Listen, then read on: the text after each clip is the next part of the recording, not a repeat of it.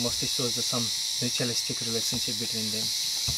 From the langur, from the top of the tree, drops the food Okay. because while eating they, they, they drop lots of fruits and the, Oh, to, to So, pass it on to yeah. they will get the benefit and especially the warning system mm. on the ground much more active is spotted deer on the tree. These are much longer are much more active to get many benefits from each other. So most of the time we'll find closer. Closer to each other. Nice. So if you're ready, Yeah. we'll start it. Yeah, yeah.